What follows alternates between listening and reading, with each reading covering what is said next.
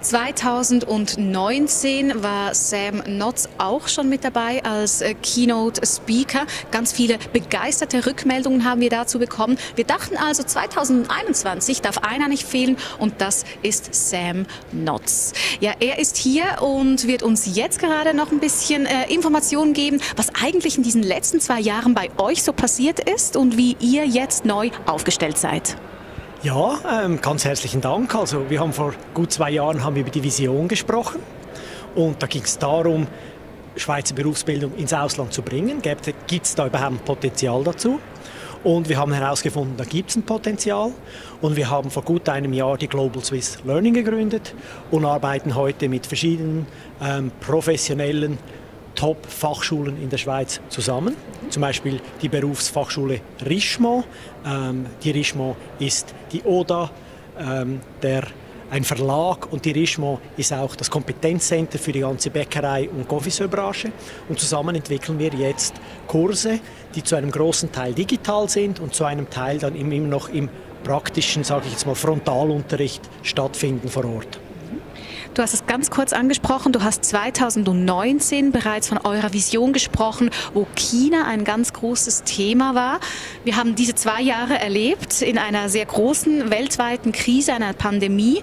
Ähm, ja, jetzt natürlich die Frage, wie, wie, wie seid ihr aufgestellt? Seid ihr bereits vielleicht in China angekommen? Und ähm, was für Probleme stellen sich euch im aktuellen Zeitgeist?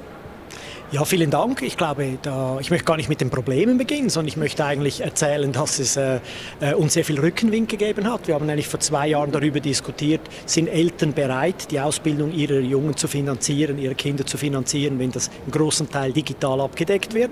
Und wir finden heute, dass die Eltern da nicht mehr nur dazu bereit sind, sondern aufgrund der Krise, die wir hatten, sogar fordern, dass die Schulen das anbieten, weil sie möchten nicht in was investieren, das dann nicht funktioniert. Also von dem Wind haben wir ein bisschen Rückenwind gekriegt. Wir haben auch mit den Schulen in der Schweiz, die wir zusammenarbeiten, für die ist die Richtung auch klar. Also die geht richtig digitalen Einsatz von verschiedenen Medien. Auf der anderen Seite ähm, haben wir die Zeit auch genutzt, jetzt zum in, diese, in diesen Ländern mit den Teams, die wir Gott sei Dank vor Ort haben, weil nur weil wir sie von Ort haben, konnten wir auch mit den Schulen sprechen. Da haben wir eigentlich jetzt begonnen, den Research nicht nur zu vertiefen, sondern bereits erste Partnerschaften geschlossen und sind jetzt im Oktober mit ersten Modulen im Test direkt am Schüler vor Ort. Und das nicht nur in China, sondern auch Brasilien. Also wir haben zwei sehr gegensätzlich, kulturell gegensätzliche Märkte, die wir testen können und dann sehr bald spüren werden, wo es funktioniert und wo nicht. Es war, wie ich erwähnt habe, eine große Freude, dass du heute hier, wieder hier warst. Wie hast du denn dieses Education Forum 2021 wahrgenommen? Wie war der Vibe?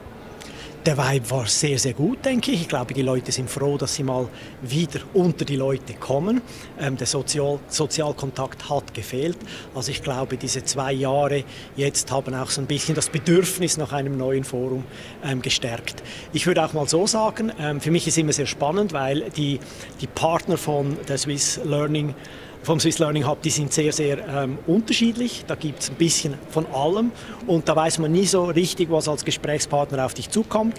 Und ähm, ich hatte tolle Gespräche mit, mit verschiedensten Bereichen. Also da waren Vertreter von Unternehmen dabei, da waren Vertreter von Schulen dabei, da waren Leute aus dem Personaldienst von Unternehmen. Das war eigentlich eine, eine tolle Mix und wir haben sehr spannende äh, Kontakte hier geschlossen und möchten dem Swiss Learning Hub auch danken und hoffen, dass es nächstes Jahr dann genauso weitergehen kann.